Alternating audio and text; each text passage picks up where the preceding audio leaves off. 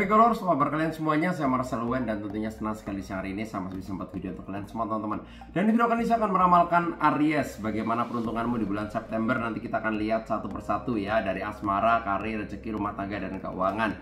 Tapi sebelum saya mulai videonya seperti biasa jangan lupa subscribe, jangan lupa klik tombol loncengnya agar kalian selalu mendapatkan notifikasi ketika saya upload video terbaru ya. Karena setiap harinya saya akan upload terus dari jam 10 siang ya, terutama uh, siang untuk ramalan zodiak ramalan show maupun ramalan artis. Ya nanti kita akan lihat dari kartu-kartu saya tentunya ya tapi buat kalian yang uh, pengen konsultasi secara pribadi ke saya, pengen curhat langsung dari segi jodoh, keuangan, rezeki rumah tangga, asmara, pengen nanya ke saya pribadi gitu ya, silahkan DM ke Instagram saya Marcelwen.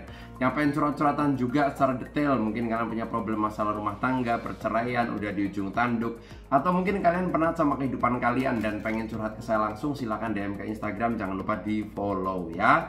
Yang nggak punya Instagram, bisa ke WA juga, nomornya ada di bawah sini di 0878 9947 1009 ya. Sekali lagi di 0878 9947 1009 ya. Kalau udah langsung aja saya akan mulai ya. Video kali ini saya akan meramalkan Aries. Peruntunganmu di bulan September bagaimana ya? Nanti kita akan lihat ya.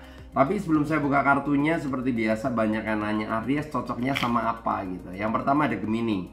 Gemini sama Aries cocok. Yang kedua ada Aquarius, yang ketiga ada Leo ya. Jadi uh, ketiga zodiak tersebut tuh cocok dengan karakternya Aries ya. Tapi bukan berarti di luar zodiak itu nggak cocok bisa juga kayak Libra cocok bisa, Scorpio cocok bisa karena semua tergantung dari orangnya juga. Kalau bisa saling mengalah pasti tentunya akan baik-baik aja ya. Nanti kita akan lihat dari kartu saya bagaimana peruntunganmu di bulan September ya. Bulan baru apa yang akan ada gitu soal asmara dulu ya yang single-single dulu, yang belum married, yang belum punya pasangan, kita akan lihat ada informasi apa yang harus kamu ketahui. Di kartu pertama buat Arya single ada kartu The Hermit. Gambaran saya di kartu yang pertama ini kerja keras kamu akan membuahkan hasil.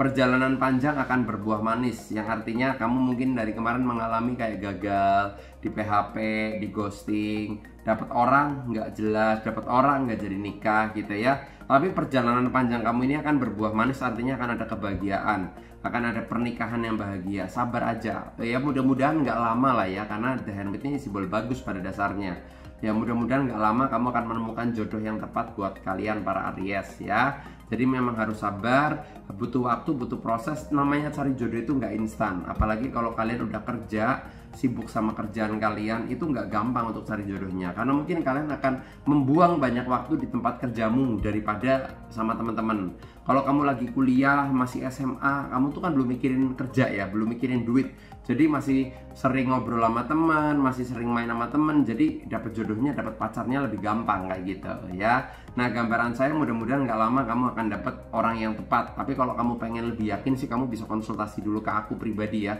biar nggak salah langkah tentunya ya. Ini di kartu yang pertama untuk kalian yang single. Yang sudah berumah tangga ada kartu Queen of Swords. Gambaran saya rumah tangga kamu ini akan apa ya? Kalau aku lihat ada keributan-keributan kecil, perbedaan-perbedaan pendapat atau kalian harus LDR atau jarak jauh mungkin karena kerjaan, mungkin karena sesuatu lah ya. Intinya akan membuat kalian tuh kayak jadi LDRan ya. Sebenarnya nggak apa-apa asalkan kontekan komunikasi harus intens. Kalau kalian komunikasinya nggak intens percuma, nanti ujung-ujungnya pasti akan banyak ribut, berantem, beda pendapat, cemburu gitu ya. Ya curiga dan sebagainya ya. Tapi keributan kecil akan ada tapi itu bisa diselesaikan baik-baik dengan musyawarah tentunya, musyawarah keluarga. Jangan uh, terlalu ego, jangan terlalu pengennya pasangan kamu yang nurutin kamu. Jadi harus ada keseimbangan. Kadang-kadang kamu juga harus nurutin pasangan kamu juga. Intinya begitu ya. Kita akan lihat lagi di kartu berikutnya untuk karir dan keuanganmu bagaimana? Tapi sebelum saya lanjutkan buat kalian yang pengen diramal pribadi, pengen curhat langsung dari segi jodoh, keuangan, rezeki rumah tangga, asmaramu, silahkan DM ke Instagram saya @marcelwen ya. Yang pengen curhat-curhatan juga secara detail dan kalian uh, nggak punya Instagram misalnya, kok bisa nggak lewat WA? Bisa, nomornya ada di kolom deskripsi di 0878 9947 1009 ya. Sekali lagi di 0878 9947 1009 ya. Lanjut lagi di kartu yang berikutnya untuk karir dan keuangan Aries di bulan September ya. Saya acak kartunya ya. Karir ada kartu Four of Cup. Nggak boleh berdiam diri dan nggak boleh stuck di zona nyaman. Kamu harus melakukan suatu perubahan Ya, kalian lihat di sini simbolnya ada seseorang yang sedang berdiam, merenung, ya, tutup mata di samping pohon. Ini menandakan kamu tuh nggak boleh stuck di zona nyaman. Karena sebenarnya banyak peluang-peluang bagus di luaran sana yang akan menjadikan kamu tuh lebih sukses, akan menjadikan kamu tuh lebih berkembang karirnya, ya. Tapi mungkin karena kamu takut mencoba atau males mencoba, jadi ya hoki hilang gitu. Namanya keberuntungan atau hoki itu dicari, bukan ditunggu. Kalau menunggu nggak akan dapat. Tapi kalau kalian nyari, ada potensi dapat. Intinya kayak gitu, ya nggak boleh berdiam diri dan nggak boleh stuck di zona nyaman. Mencoba hal baru itu lebih baik. Alangkah baiknya kamu mencoba daripada nggak mencoba, ya jelas kamu nggak dapat apa-apa. Tapi kalau mencoba setidaknya ada peluang baik. Nah, paham kan maksud aku ya? Jadi kamu beranikan diri untuk mencoba sesuatu hal baru dalam hal karir. Ya namanya rezeki, karir itu bisa datang dari mana pun, relasi, temen, bos, mantan bos kamu ngasih kerjaan, mantan temen eh mantan temen, mantan pacar kamu ngasih kerjaan bisa juga ya karena nggak ada yang nggak mungkin namanya karir bisa meningkat sewaktu-waktu. Keuangan ada kartu Seven of Swords ya. Keuangan kamu cenderung akan banyak pengeluaran banget nih karena mungkin untuk ya eh, modal usaha bisa, untuk pengeluaran pribadi bisa, lebih kayak tanggungan pribadi sih ya pengeluaran banyak untuk tanggungan pribadi di bulan September. Yang saya lihat seperti itu.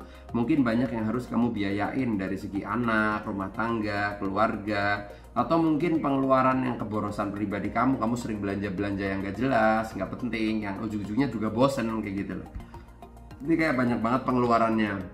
Di bulan September sepertinya kamu harus banyak memperhitungkan ya memperhitungkan kalau perlu dicatat penting nggak gitu. Oh ini nggak penting coret. Oh ini penting coret gitu ya di checklist gitu misalnya. Jadi harus ada perhitungannya.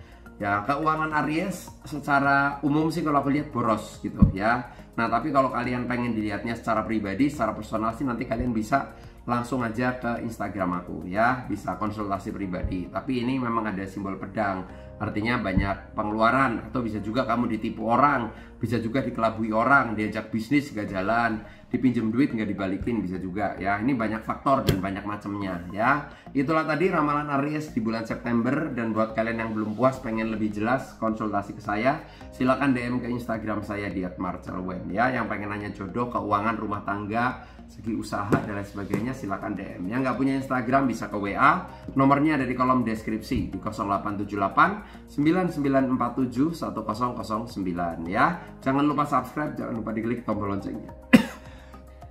Karena setiap harinya saya akan upload terus video terbaru ya teman-teman ya. Dari jam 10 siang maupun uh, live tapi kalau live kadang-kadang nggak tentu sih ya. Seringnya siang untuk ramalan zodiak ramalan sio maupun ramalan artis. Sorry aku lagi batuk teman-teman suaranya masih bindeng kayak gini ya. Thank you terima kasih banyak. Jangan lupa subscribe nama saya Marcelo dan sampai jumpa di video-video berikutnya. Thank you